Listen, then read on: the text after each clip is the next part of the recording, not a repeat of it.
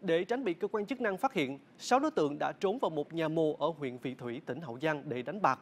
Tuy nhiên vẫn bị công an bắt quả tang. Tăng vật thu giữ tại chiếu bạc gồm 320.000 đồng, hai bộ bài tay và 4 điện thoại. Kiểm tra trên người các đối tượng, công an phát hiện và tạm giữ hơn 24 triệu đồng. Ngoài củng cố hồ sơ, xử lý các đối tượng về hành vi đánh bạc, công an còn xử phạt những người này về hành vi tụ tập đông người, vi phạm quy định phòng chống dịch.